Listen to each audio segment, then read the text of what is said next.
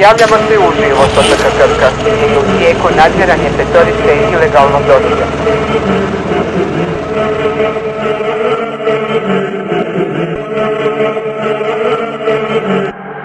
Ja sam ti s mosta, mi smo ovdje mi fancy Cijeli sam u trendži buras, ali ne piše fendi Novo lice sam tebra, ajde slušaj me grdo Jašam ti na ove drilove i dolazim tvrdo Sve ima reprizu, ali hvatam ovu šancu, miči mi sebe. Jedan pogled jednim okom, ja to doznajem sve. Mislio si s njim ćeš lako, ali sjebo si se.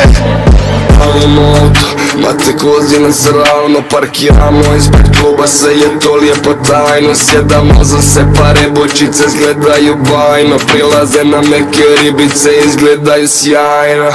Ulazim u klubove, tu masu 800 konjića tebra, ja sam uvijek u gasu Ko sinan sakih sa evrićima, na dobro sam glasu Kada ti otvorio strofu, on ti razvali kasu. Trošimo kao naša Rf. Nestabilni kao Britney.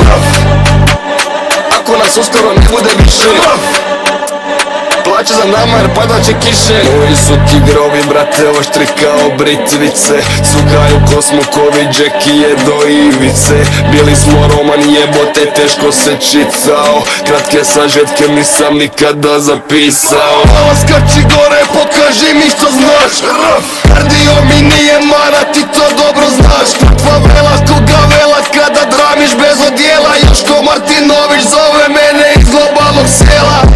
Martel i martel, lagani ko Chanel Kad mi zamiriš sreću izgledaš mi ko model. Separe je ko bordel, ajde brate bit ću fair. Uzmi neku lijepu malu pa joj uđi u duel. Ulazim u klubove, ja guram tu masu. 800 konjića tebra, ja sam uvijek u gasu. Ko sinan sakih sa evrićima, na dobro sam glasu Kada ti otvorio strofu, on ti razvali kasu. Наша ритми лав. Нестабилни као бритми лав. Ако нас ускоро не буде више лав. Плаче за нама jer padat će